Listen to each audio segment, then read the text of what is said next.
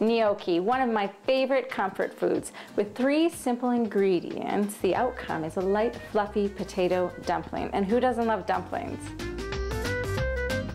I'm using a russet potato. For this recipe, you would use about a pound of potato, one egg, and 100 grams of flour. Uh, so here I am, just scooping out this potato. I'm gonna try to save the inside a little bit, and I can utilize the skins later to fill with whatever I so choose. Now, if you don't have a ricer, you can always push your baked potatoes through a mesh strainer. I recommend doing this while it's warm if it's going to be a little easier to work with. So I'm adding my flour. I'm also going to add some salt.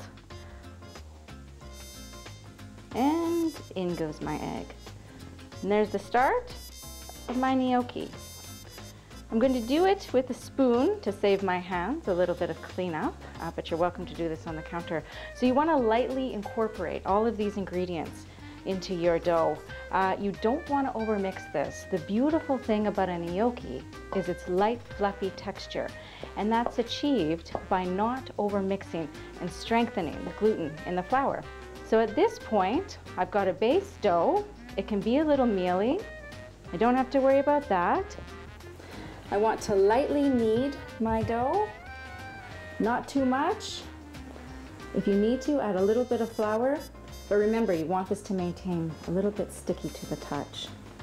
I've cut my dough ball into quarters.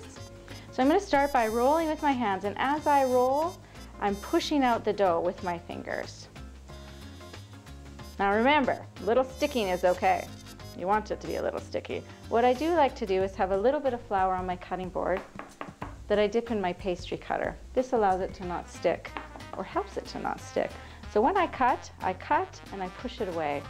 Cut, push it away. I've got some boiling water here. I'm gonna add to that a little bit of salt. This is my opportunity to season the gnocchi when it absorbs the water. I'm also going to add my gnocchi to the water. I don't want to overcrowd the pan because it'll all stick together. The nice thing about gnocchi is it tells you when it's done by coming to the surface. I like to take it from after it's been boiled and put it into a pan uh, with a little bit of butter, crisp it up, brown it up, and add whatever flavorings I want to. Today I'm using sage. Got my brown butter and sage gnocchi here. I'm gonna finish with a little bit of pecorino, and that's all it needs.